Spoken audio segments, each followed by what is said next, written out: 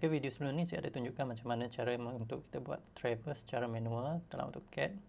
Jadi untuk video kali ini saya akan tunjukkan macam mana kita nak uh, plot label, bearing and distance untuk setiap traverse yang telah kita draw lah. So untuk plot uh, bearing distance secara manual senang ya. Kita klik line yang traverse kita ni. Kita tengok dia punya uh, detail list dia punya detail. So kita just copy yang ni length sampai dia punya uh, bearing ni lah. Length semua ni copy ya copy. Ok datang sini paste. Datang sini paste control V. Betul letak sini. Ok letak sini. Lepas tu kita kena edit sikit lah. Edit sikit double click. So ni dia punya bearing. Delete space sini. Lepas pada uh, degree ni taruh 2 percentage. 2 percentage. Distance ni biasa kita letak belakang lah. Kita cut dia. Cut. Kita letak depan belakang. Paste. Tu ni dia punya distance lah. Okay. kita bagi dua space tu satu je satu space. So ni bearing ni distance. Okay. So easy kalau kita tak letak dua percentage tadi tu dia akan keluar tag dia D lah. Kita akan keluar simbol degree ni. Jadi dekat tag tadi kita kena letakkan dua simbol. Lepas tu kita tukarlah tag size. Biasa kalau plot 1000 biasa tag size dalam 1.6 dengan 1.8 lah standard properties.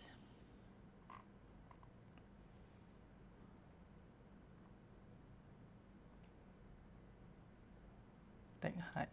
Okay sini 1.6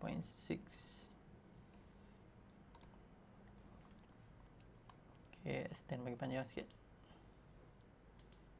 Okay. Untuk dapatkan dia punya tag rotation tu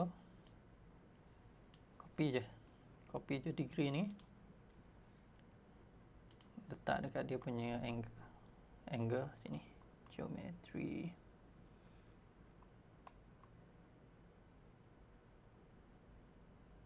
sini rotation. Sini tukar balik D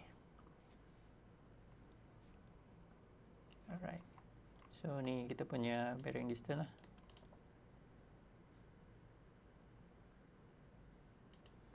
Alright, so untuk seterusnya pun sama juga. Nanti keluar. Copy. Copy ni uh, highlight. Lepas tu guna keyboard lah. Tekan button control dengan uh, C. Lepas tu untuk paste. Control V. Paste je. Sebab tadi kita dah ubah dia punya default text style kan. Jadi untuk seterusnya tu dia akan automatic lah automatic. Ok untuk case yang ni saya nak tukar dia punya rotation dulu. Copy.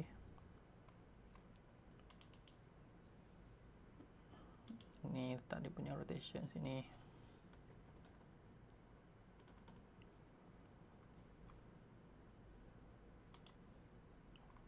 Ok lepas tu baru kita edit. 2 percentage sebelah selebihnya potong. Satu space letak balik yang ni buang. Ok yang ni pun buang. Ok temulah. Terus terusnya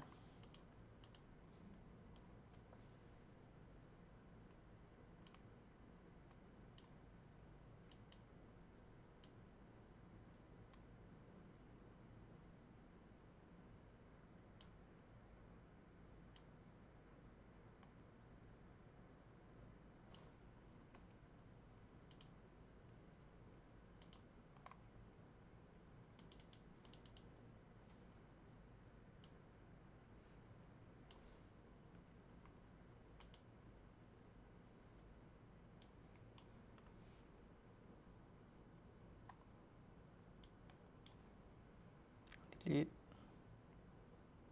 copy dulu yang ni. Taruh percentage. Select. Tukar rotation. Move. Ok last untuk traverse ni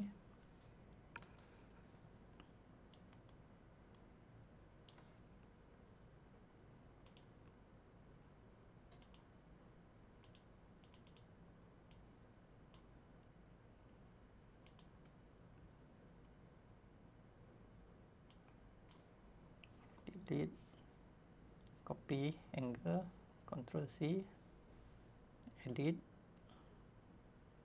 Masuk dia punya percentage. Ok select rotate paste paste rotation. Ok move.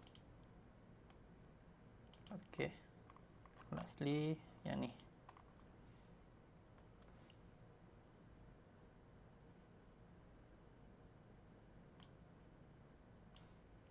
copy paste cut paste cut copy uh, direction copy angle edit select rotation tukar rotation. Okey.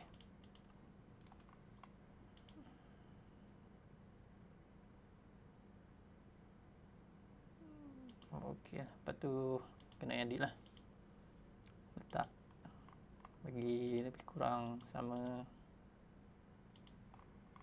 sesedap pandang lah. Alright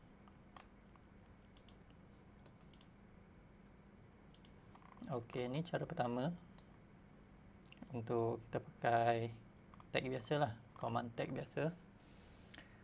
Copy paste, edit, tukar rotation.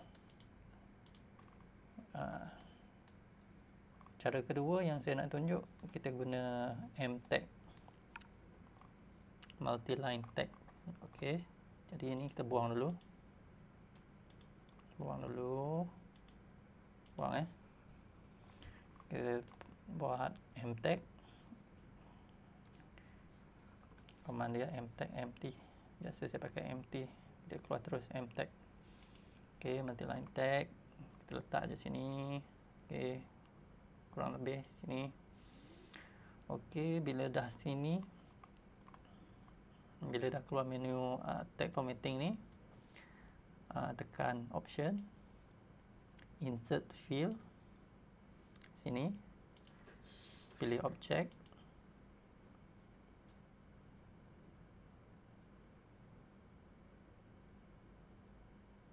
Sini pilih objek. Select objek. Line. Alright line. Sini preview current position.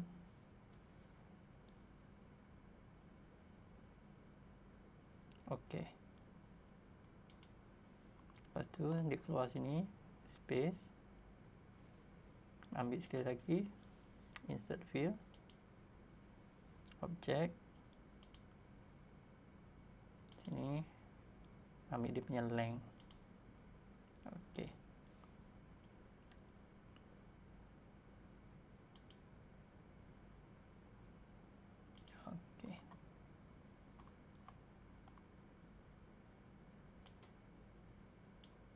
dia punya height samalah sama tadi 1.6 1.6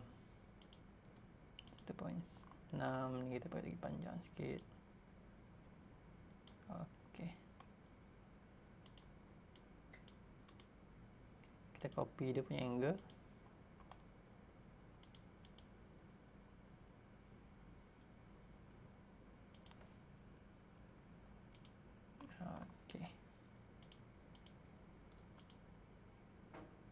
So kita letak sudah. Ni susah nak tengok. Saya tukar dia punya color bagi terang sikit. Pakai blue lah. Pakai blue. So untuk seterusnya ni untuk lain ni kita cuma copy je copy tak dulu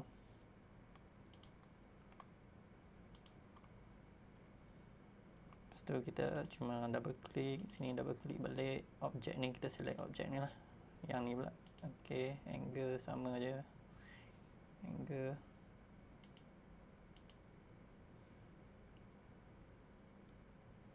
Okay.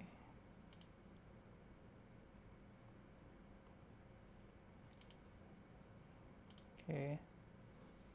Yang ni sama double click length select balik objek ni. Tengok kan sekarang 2695 kan. Kita kena select objek ni. Okay. Baru dia sorry tersilap. Objek ambil dia punya length. Okay. Okay. So ni tadi kita copy dia punya angle copy rotation kita letak sini lah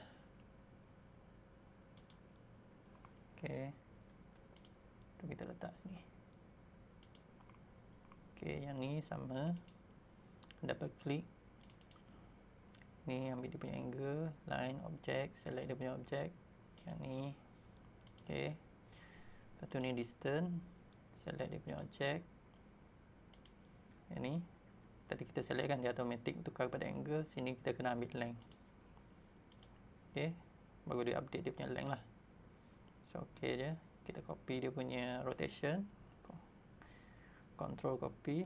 Control C lepas tu kita select dia sini rotation kita tukar ok kita move ok sini last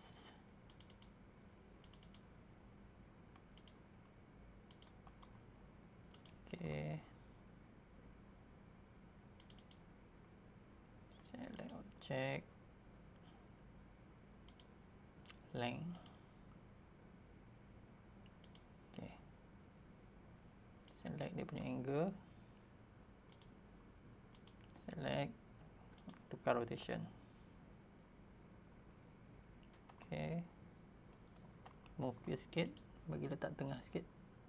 Okay. Okey. Ni bagi dekat sikit. Okey, lastly kita edit yang ni. Kita punya apa? Uh, com. Direct parent distance. Select check ni object type line select yeah, line angle okey lepas tu ni dia punya distance ambil balik objek ni objek yang ni sini ambil dia punya length Okey. Kita copy dia punya rotation angle. Oh. Cancel. Kita copy dia punya rotation. Sini select highlight. Sini rotation kita tukar. Okey, so dia parallel lah. Line ni dengan dia punya tag ni dia akan parallel. So ada background putih ni kau orang jangan risau sebab bila kalau kita nak print dia putih ni takkan ada, takkan nampak. Contohlah kan kita nak print bila kita masuk hmm, sini extend lah. Extend let's okay. Portrait. Okay, fit the paper preview. Ha, bila kita tengok yang putih tu tak tak ada efek lah. Ha, dia keluar macam biasa. dia kelebihan kita pakai apa uh, M tag ni multi line tag dengan reference to uh, field ni dia akan sekiranya kita ada move atau rotate especially sebab kita, sekarang kita punya uh, line ni berkaitan dengan angle and distance kan uh, kalau kita move tak ada effect contohnya kalau kita rotate angle ni dia punya bearing ni akan update secara automatik. Contohlah, contoh uh, masa kita dekat field tu, kita starting kita punya uh, traverse dengan assume bearing. Lepas tu bila kita dah nak match up dengan uh, actual bearing, kita boleh just select, uh, rotate. Uh, rotate kita punya base point lah. Contoh sini BKL lepas tu base point ada BKL yang lain. Saya bagi contoh.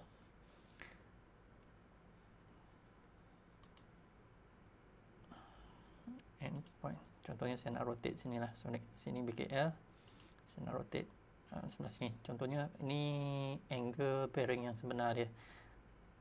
Ok sekarang dia belum berubah kan?